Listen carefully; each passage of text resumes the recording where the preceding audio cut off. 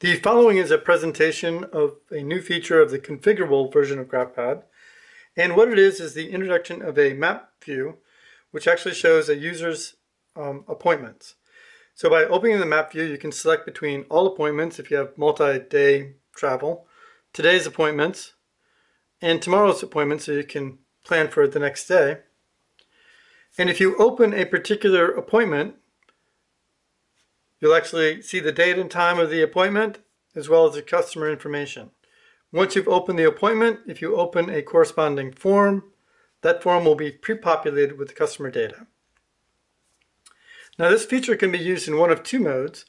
It can be used as a standalone app, in which case the user can input his own appointments, or it can be integrated with a backend system, in which case the application will actually call out to a web service and download the appropriate appointments.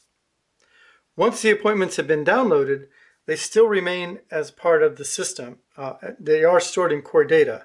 And so if for some reason you're disconnected from the net, so first I'll, I'll go ahead and show a case where we're actually integrated.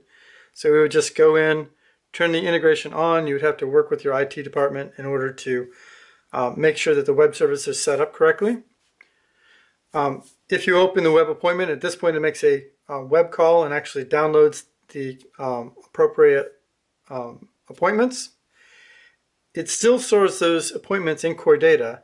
So if, for example, you were disconnected from the web or you're in airplane mode, and we'll simulate that, you would still have those appointments in the system. However, because the directions is a web service call on by itself, you would no longer have the directions plotted. You would still be able to open an appointment, however, get the customer information which has been stored in core data, and then when you open a form, it would then pre-populate that, form with that customer information. This new feature is currently under development and should be released in the next release cycle, which will probably be within another week. And I hope everybody enjoys this new feature. Thank you very much.